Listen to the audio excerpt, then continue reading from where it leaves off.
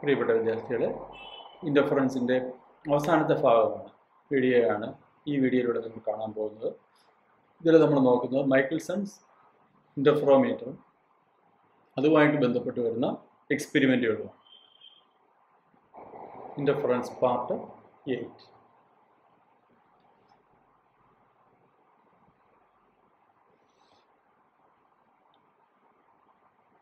ഇവിടെ നമ്മൾ കാണുന്നത് മൈക്കിൾസൺ ഇന്റർഫ്രോ മീറ്ററിനെ കുറിച്ചാണ്. മൈക്കിൾസൺ ഇന്റർഫ്രോ മീറ്റർ നമ്മുടെ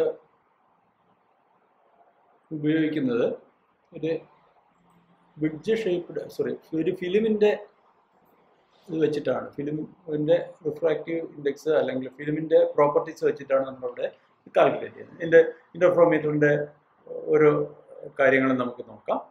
ഒന്നാമതായിട്ട് നമ്മൾ നോക്കുന്നതിന്റെ setup എങ്ങനെയാണെന്നുള്ളതാണ് here we are using a source മിക്കവാറും ഒരു മോണോക്രോമാറ്റിക് ലൈറ്റ് ആയിരിക്കും. Nowadays lasers are used as a source okay സോഴ്സിൽ നിന്ന് ലൈറ്റ് പാരലായിട്ട് വരുന്നതിനുള്ള ഒരു അറേഞ്ച്മെന്റ് ഉണ്ട്. ഇവിടെ രണ്ട് ഗ്ലാസ് പ്ലേറ്റുകൾ വെച്ചിട്ടുണ്ട്. G one and G two ഇതിൽ ജി ഒൺ നമ്മൾ പറയുന്നത് glass plate G one is known as the beam splitter beam splitter ഇതിന്റെ ഒരു പ്രത്യേകത ഇത് പാർഷ്യലി റിഫ്ലക്റ്റീവ് ആണ് ഹാഫ് സിൽവേഡ് മിറർ എന്ന് പറയും. പാർഷ്യലി റിഫ്ലക്റ്റീവ് ആണ് പകുതി ലൈറ്റിനെ റിഫ്ലക്റ്റ് ചെയ്യാൻ അല്ലെങ്കിൽ ഇന്റൻസിറ്റി പകുതിയെ മാത്രം റിഫ്ലക്റ്റ് ചെയ്ത് അയക്കുന്നതിനുള്ള ഒരു സംവിധാനമാണ്. ജി ടു എന്താണെന്നുള്ളത് നമുക്ക് രണ്ടാമത് നോക്കാം. ഇതിൽ നിന്ന് റിഫ്ലക്റ്റ് ചെയ്ത് പോകുന്ന ലൈറ്റ് ഇങ്ങനെ പോയിട്ട് ഇവിടെ എ എന്ന് പറയുന്ന ഒരു മിറർ വെച്ചിട്ടുണ്ട്. ഈ മിറർ മൂവബിൾ ആണ്. അപ്പ് ആൻഡ് ഡൗൺ നമുക്ക് മൂവ് ചെയ്യുന്നതിന് വേണ്ടിയിട്ട് സാധിക്കും. അങ്ങനെയുള്ള ഒരു മിററാണ് ഈ മിറർ എന്ന് പറയുന്നത്. അപ്പോൾ ഇവിടെ ഒരു മൈക്രോമീറ്റർ സ്ക്രൂ ഉണ്ടാവും. ആ മൈക്രോമീറ്റർ സ്ക്രൂ വിരിച്ചിട്ട് നമുക്കത് നീക്കാം. അതോടൊപ്പം തന്നെ എന്തുമാത്രം നീങ്ങുന്നു എന്നുള്ളത് നമുക്ക് ചെയ്യുന്നതിന് വേണ്ടിയിട്ട് സാധിക്കും.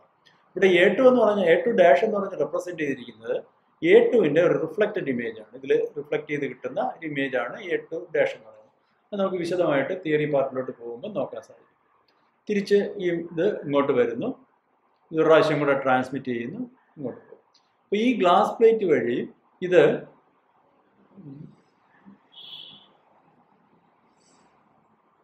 ഈ ജിയോൺ എന്ന് പറയുന്ന ഗ്ലാസ് പ്ലേറ്റ് വഴി ഈ റേ രണ്ട് പ്രാവശ്യം അങ്ങോട്ടും ഇങ്ങോട്ടും പോകുന്നുണ്ട്. അപ്പ് അപ്പ് ആൻഡ് ഡൗൺ പോകുന്നുണ്ട്. ഓക്കെ അപ്പോൾ അപ്പ് ആൻഡ് ഡൗൺ പോകുന്നത് കൊണ്ട് അതായത് ഇവിടെ ഒരു പ്രാവശ്യം ട്രാൻസ്മിറ്റ് ചെയ്ത് പോകുന്നു.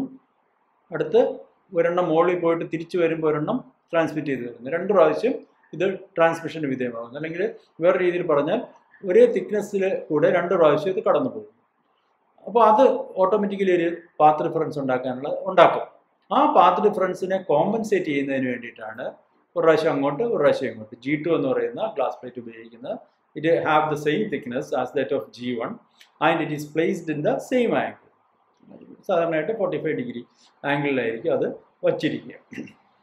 വി ക്യാൻ ടിൽറ്റ് അത് അങ്ങനെയായിരിക്കും വച്ചിരിക്കുന്നത് ഇത് എ ടു എന്ന് പറയുന്ന ഒരു മിററാണ് ഇതുപോലെ ഏൺ പോലുള്ള ഒരു മിററാണ് തട്ടിയിട്ട് റിഫ്ലക്റ്റ് ചെയ്തു പോകും. എ ടു നമുക്ക് മൂവ് ചെയ്യുന്നതിനുള്ള സംവിധാനം ഉണ്ടായിരിക്കും. അതുപോലെ തന്നെ ഇത് ടിൽറ്റ് ചെയ്യുന്നതിനുള്ള സംവിധാനം ഉണ്ടായിരിക്കും. ചരിക്കുന്നതിനുള്ള സംവിധാനം ഉണ്ടായിരിക്കും. ഇമേജ് ഫോർമേഷൻ നടക്കുന്നത് ഇവിടെ ആയിരിക്കും ഇവിടെ നമ്മളൊരു മൈക്രോമീറ്ററോ എന്തെങ്കിലും വെച്ചിട്ട് നമുക്ക് മൈക്രോ മൈക്രോസ്കോപ്പോ എന്തെങ്കിലും വെച്ചിട്ട് നമുക്കത് കാണുന്നതിന് വേണ്ടിയിട്ട് സാധിക്കും. ഓക്കെ അപ്പോൾ ഇത് ബീം സ്പ്ലിറ്ററാണ് ഇത് കോമ്പൻസേറ്റിംഗ് ആണ്. This is the arrangement of Michelson interferometer okay ഞാൻ എ ടു ഡാഷിന്റെ കാര്യം പറഞ്ഞു. അത് യഥാർത്ഥത്തിൽ നമുക്കൊരു എ ടു ഉണ്ട്. റിയൽ മിറർ ഉണ്ടായിരുന്നു ഓക്കെ അവിടെ ഇതിലോട്ട് വരുമ്പോൾ അത് ഈ പ്ലേറ്റിലുള്ള റിഫ്ലക്ഷൻ കാരണം എ ടു ഡാഷായിട്ട് മാറും. ഓക്കെ അപ്പോൾ എ ടു ഡാഷ് ഒരു പ്രത്യേക സ്ഥലത്തായിരിക്കും ഫോം ചെയ്യുന്നത്. ആ എ ടു ഡാഷിനും എ ഒന്നിനും ഇടയ്ക്കുള്ള ഡിസ്റ്റൻസ് നമുക്ക് മാറ്റാൻ സാധിക്കും. എ ടു ടിൽറ്റ് ആയിട്ടുണ്ടെങ്കിൽ ഇതും ടിൽറ്റ് ആവും. ഓക്കെ ഇത് ടിൽറ്റായിട്ട് ഇരിക്കും. ഇമാജിൻ ടിൽറ്റായിട്ടായിരിക്കും വരിക.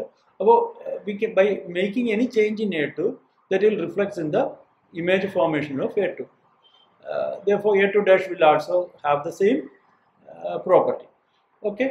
അപ്പോൾ ഇവിടെ എ ഒന്നിനും എ ടുവിനും ഇടയിലുള്ള ഡിസ്റ്റൻസ് നമുക്കിങ്ങനെ കൂട്ടുകയോ കുറയ്ക്കുകയോ ചെയ്യുന്നതിന് വേണ്ടിയിട്ട് സാധിക്കും.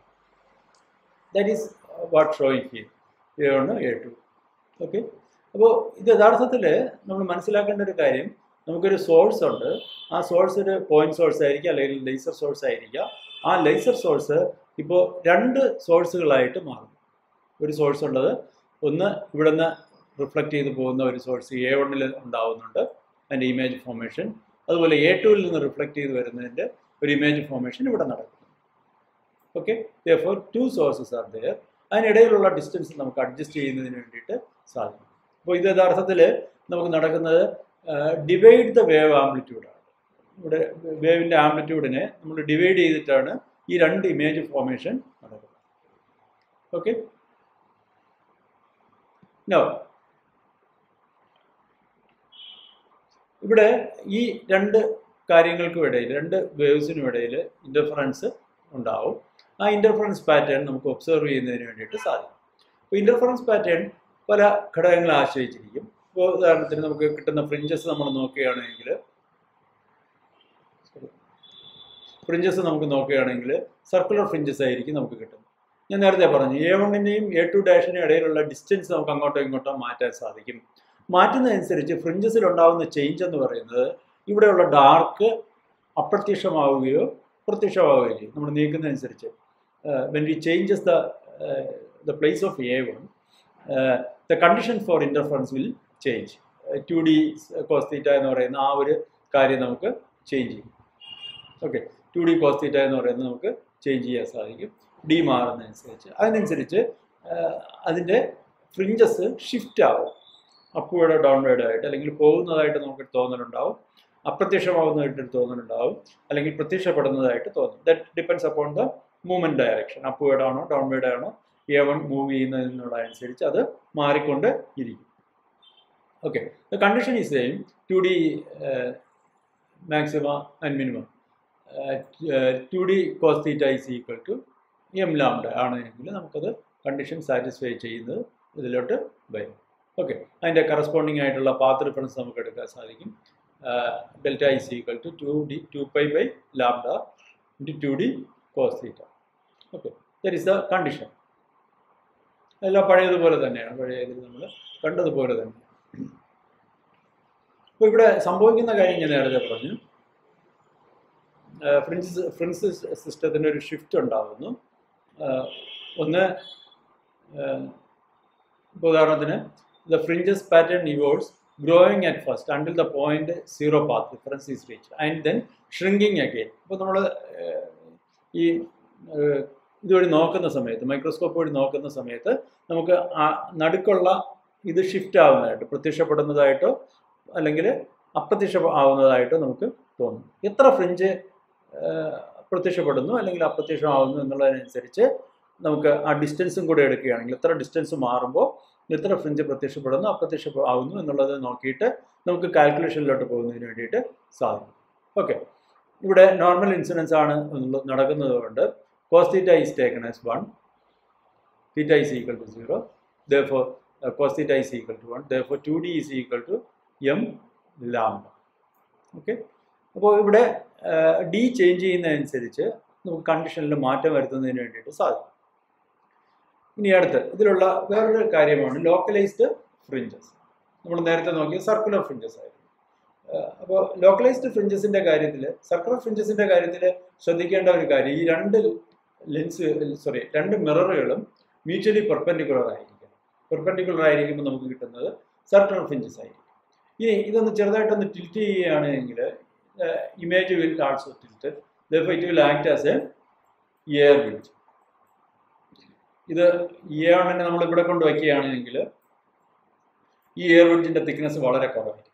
ഡിപ്പെൻസ് ഓൺ ദ ആംഗിൾ നമുക്ക് കിട്ടുന്നത് നമ്മൾ നമുക്കവിടെ എയർജി കിട്ടിയതുപോലെ സ്ട്രൈറ്റ് ആയിട്ടുള്ള ഇതായിരിക്കും വരിക.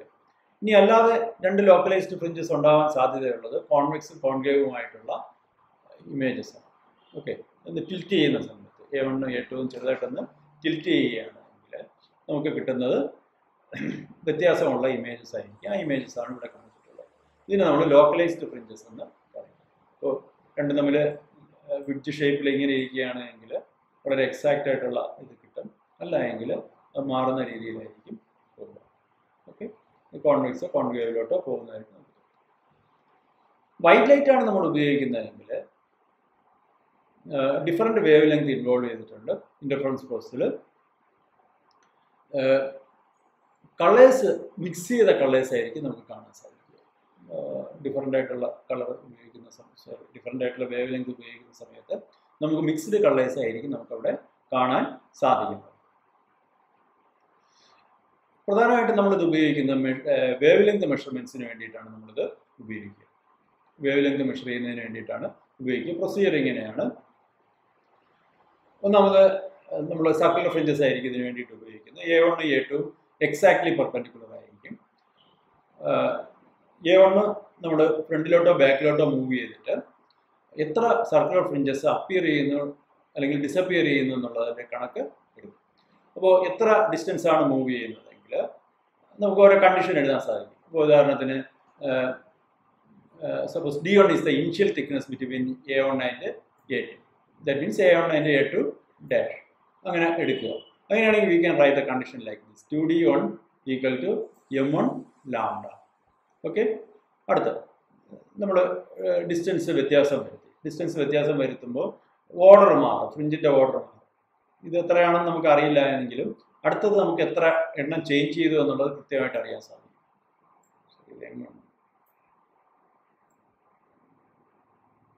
ഓക്കെ അടുത്തത് നമുക്ക് എത്ര ചേഞ്ച് ചെയ്തു എന്നുള്ളത് കൃത്യമായിട്ട് അറിയുന്നതിന് വേണ്ടിയിട്ട് സാധിക്കും. അപ്പോൾ two D one is equal to M one lambda and two D two is equal to M N എത്രയാണെന്ന് എൻ എത്രയാണെന്നുള്ളത് നമുക്കറിയാം. എം എൻ ലാംഡ സബ്സ്ട്രാക്ട് ചെയ്യുന്നു. അതിൽ നിന്ന് ലാംഡ നമുക്ക് കാൽക്കുലേറ്റ് ചെയ്യാൻ സാധിക്കും. Two D by N N is the order of the fringes അത് നമുക്ക് എത്ര എണ്ണം ഡിസപ്പിയർ ചെയ്തു അല്ലെങ്കിൽ എത്ര എണ്ണം അപ്പിയർ ചെയ്തു എന്നുള്ളതിൽ എന്തായിരിക്കും അതെടുക്കുക ഡി എന്ന് പറയുന്നത് നമുക്ക് കൃത്യമായിട്ട് കാൽക്കുലേറ്റ് ചെയ്യുന്നതിന് വേണ്ടിയിട്ട് സാധിക്കും okay lambda is equal to two D by J അതിലൊന്ന് നമുക്ക് ലാംഡ കണ്ടുപിടിക്കുന്നതിന് വേണ്ടിയിട്ട് ഈ ഒരു വീഡിയോയിലൂടെ നമ്മൾ കണ്ടത് മൈക്കിൾസൺ ഇന്റർഫെറോമീറ്റർ എങ്ങനെയാണ് പ്രവർത്തിക്കുന്നത് എന്നുള്ളതും വേവ് ലെങ്ത് എങ്ങനെ കാൽക്കുലേറ്റ് ചെയ്യാം അൺനോൺ ആയിട്ടുള്ള ഒരു വേവ് ലെങ്ത് എങ്ങനെ കാൽക്കുലേറ്റ് ചെയ്യാം എന്നുള്ളതിനെ കുറിച്ചും ആണ് അപ്പോൾ ഇന്റർഫറൻസിന്റെ പോർഷൻസ് നമ്മുടെ സിലബസ് അനുസരിച്ചിട്ട് അവസാനിച്ചിരിക്കുകയാണ്. Thank you